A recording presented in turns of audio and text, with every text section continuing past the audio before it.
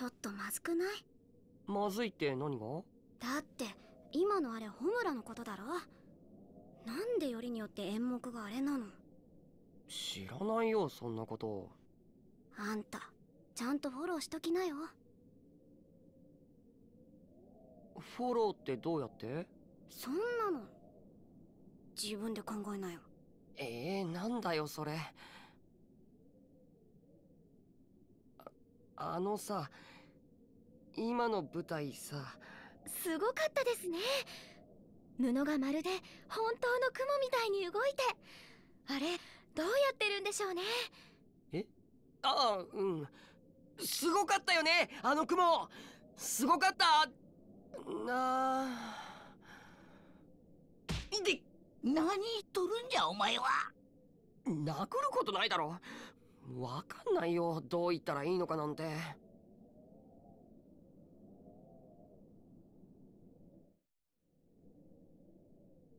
入るぜじいさん。おいおいまた増えたんじゃないか？なんだバンダムか。人の趣味にケチをつけるな。戦友相手になんだはねえだろう。戦友ああ。傭兵団を作る前はフリーでな。若さに任せてコールのじいさんとあちこちの戦場を駆け巡ったもんさ情にほだされてすぐロハにする誰かのおかげで金にはならんかったがな。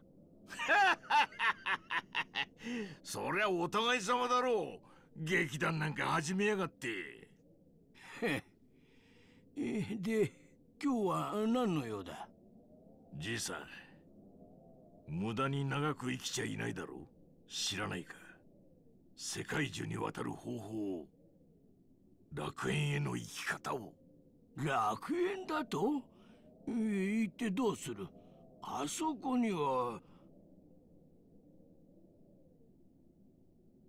そのコアクリスタル？ああんたは？あんたが目覚めたってことはドライバーは？俺さ。お前が？まさか子供とは。どうだじいさん。知っていたら教えてくれんか。うーん。世界中への渡り方を聞きに来たということは一度は行ってみたんだな。うん。でもダメだった。だろうな。あれがいる限り誰一人として世界中には渡れんあれは世界中を守っている。だがかつてただ一人だけ世界中を登り神に会いに行った者がいる。世界中？本当に？うん。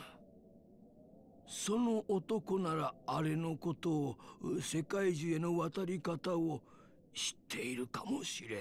それは誰？おおコールさん教えてくれ。俺はどうしても楽園に行きたいんだ。教えてもいいがその前に二人だけで話をさせてくれないか。そこの天の聖杯と。ホムラと？わかりました。奥へ。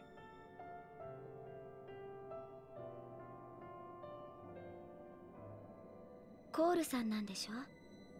あの物語を書いたのは。すまなかったな。思い出させてしまったか。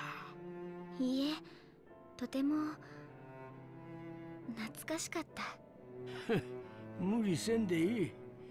本当にすまなかった。残したかったんだ。あの時のことを誰かに伝えたかった。あの時のわしらの姿を再び使うのか？あの力を。わかりません。この世界二度は耐えられんぞ。分かっています。できれば使わないでいたい。そう願っています。でも。世界中への生き方を知っているのはあの男だけだ。会えるのかあの男に。それを確かめたかった会います。それが私の運命ならば。そうか。さっきの少年。レックスって言います。とっても元気で優しい人です。どことなく似ているな。えわかった。力を貸そう。えありがとうみのちさん。ミノチか。その名忘れていたよ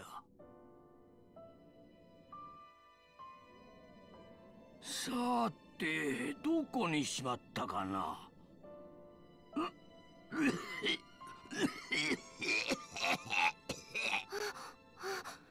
いちゃん。大丈夫かじいさだ大丈夫だ。すぐ収まる。心配ない。心配ない。ん今日は引き上げた方が良さそうだな悪かったなじいさん。いいや よければ明日また来てくれ。渡したいものがある。行くぞ。宿のあてはある